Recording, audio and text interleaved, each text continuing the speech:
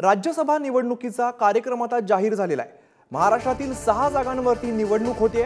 पंधरा फेब्रुवारीपर्यंत अर्ज दाखल करता येणार आहे. वीस फेब्रुवारीपर्यंत अर्ज मागे घेण्याची मुदत आहे. तर भाजपकडून तावडे पंकजा आणि राणे रहाटकरांचं नाव चर्चेमध्ये आहे. तर शिंदेची सेना आणि अजित पवारांच्या राष्ट्रवादीचे उमेदवार कोण हे मात्र गुलदस्त्यात आहे.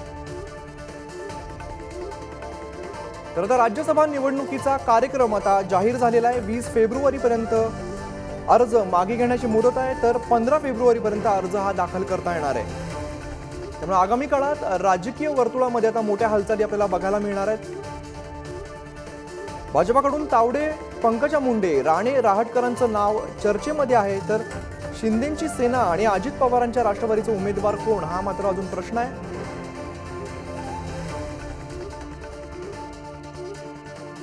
आमचे national news editor Prasanna Joshi आपल्यासोबत आहेत. प्रसन्न सर राज्यसभा निवडणुकीचा कार्यक्रम आता जाहीर झालेला आहे. आता हालचालींना सुद्धा वेग येईल. अमित राज्यसभेचा हा कार्यकाल हा कार्यक्रम निवडणुकीचा नुकता जाहीर झालेला आहे. आणि आता त्याचा सव्वीस फेब्रुवारीला त्याचा निकाल सुद्धा लागेल. महाराष्ट्रातून सहा जागांसाठी ही निवडणूक असेल.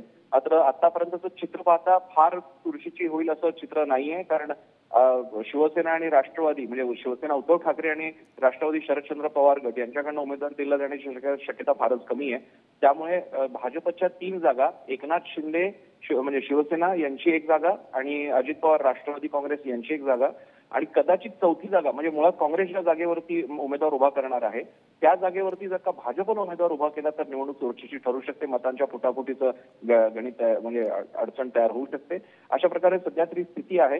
मात्र आजपासून या बाबतीत नेमकी कोणाची नावं पाठवली जात आहेत हे बघणं उत्सुक्याचं ठरेल. नक्कीच. प्रसन्न सर भाजपाकडून तावडे असतील पंकजा मुंडे असतील राणे आणि रहाटकरांचं नाव चर्चेत आहे. तर शिंदेची सेना आणि अजित पवारांच्या राष्ट्रवादीचे उमेदवार कोण असू शकतात? आता हाच नेमका महत्त्वाचा प्रश्न गुलदस्त्यात ठेवलेला आहे की अजित पवार आणि शिंदेचे आणि अशा प्रकारे आपण हे लक्षात घेतलं पाहिजे की हे दोन्ही पक्ष स्थापन झाल्यानंतर अशा प्रकारे राज्यसभेला निवडणुकीला सामोरं जाण्याची या दोन नेत्यांच्या पक्षाची ही पहिलीच वेळ असणार आहे. अनेक नावं चर्चेत आहेत पण त्यातही कोणत्याही प्रकारच्या प्रस्थापित नावांच्या ऐवजी वेगळंच नाव समोर आणण्याची सुद्धा शक्यता व्यक्त केली जाऊ शकते. उदाहरणार्थ कदाचित अजित पवारांकडनं समजा कोणी नेता वेगळा जर का सांगण्यात आला तर त्याचं आश्चर्य वाटायला नको.